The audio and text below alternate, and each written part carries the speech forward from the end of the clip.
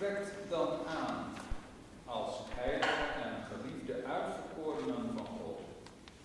Een barmhartig innerlijk, goede dierenheid, nederigheid, zachtmoedigheid en geduld, waarmee je elkaar kunt verdragen en begenadigen als iemand tegen iemand een grief heeft. Zoals zo ook hij. Voegt bij dit alles de liefde, die de band van de volmaaktheid